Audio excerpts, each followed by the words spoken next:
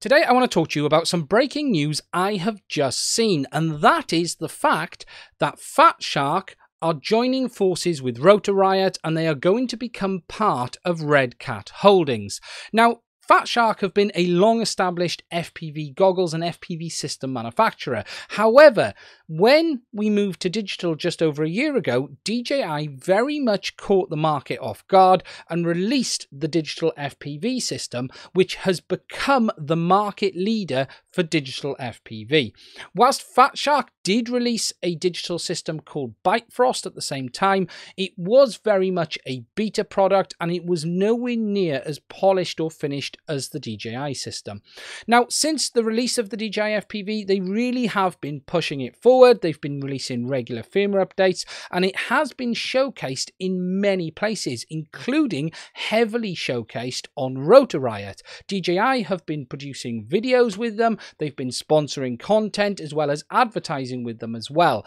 Now, today's news really does change things, and just to show you what has actually been said, if we head over to the Fat Shark Facebook page, you can see that there is a post stating that they are excited to become part of Rotor Riot as part of Red Cat Holdings. Now, Red Cat Holdings are the parent company of Rotor Riot, and they acquired it just over a year ago now, if I recall, and they own another a number of companies relating to drones, Rotor Riot, Dronebox, etc.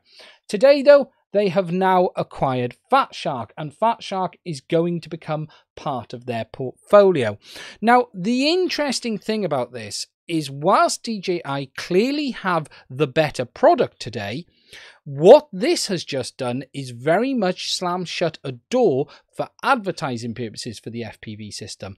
Fat Shark have really struggled with Byte Frost, however, they are not down and out, and their new Shark Byte system, which is based off Byte Frost, is just around the corner. And whilst DJI have been able to capitalize on using Rotor Riot to push sales, that door has literally just been slammed closed, and the reality is Rotor Riot are going to be concentrating on whatever Fat Shark intends to make because they are all now part of the same company. Now, this makes things very interesting because whilst usually we expect the best technology to win, the reality is that isn't always the case. There is no question that the DJI digital FPV system is by far the best digital FPV system of all of them right now.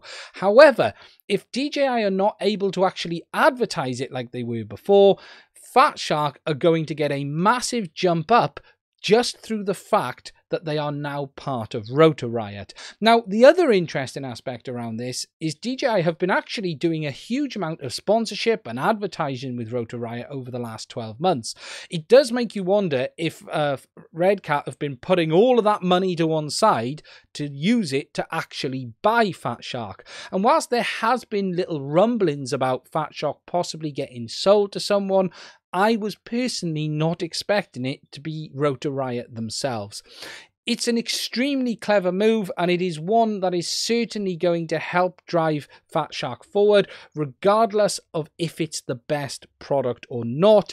They will now have access to that massive Rotor Riot community. If we take a look at just the YouTube channel, here and now, they have over 200,000 subscribers.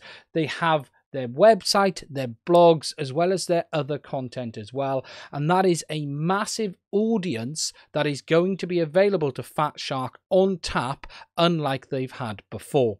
Now, whilst on the face of this it looks quite bad for DJI, reality could be very different. Fat Shark have been developing their own digital FPV system, but it hasn't come easily. And Fat Shark have openly said that they are primarily a goggles manufacturer, and their intention with Byte Frost or Shark Byte alongside DiviMath was to provide an open HD standard for manufacturers to use, including Fat Shark. We know DJI have developed their own FPV system in house and they have started to work with other partners as well.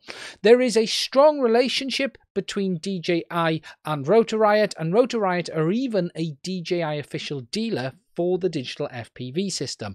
Now that the Fat Shark have become under the umbrella the same as Rotor Riot, it is not beyond belief to think that you could actually see a bit of a relationship form between the three companies. And could we see Fat Shark goggles with integrated DJI digital FPV in the future? And whilst Fat Shark are using that DiviMath system, there is nothing to say that will continue. And the reality is, whilst DJI have done very well with their current goggles and their current system, they are not perfect for everybody. And if they do want their system to expand, they're going to need to work with some pretty serious partners. And the biggest one of them is Fat Shark. So it's not beyond the possibility that this whole deal could actually benefit everyone and not actually single out DJI to the side while Fat Shark and Rotor Riot head off into the sunset.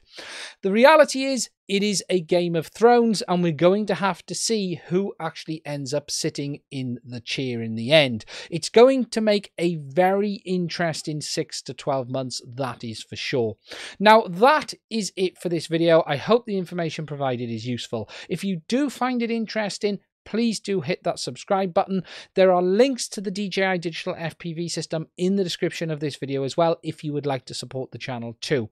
Finally, I do a live stream on a Sunday night on my dedicated live stream channel. There is a link to that in the description of this video as well. It would be fantastic to see some of you guys along on that one too.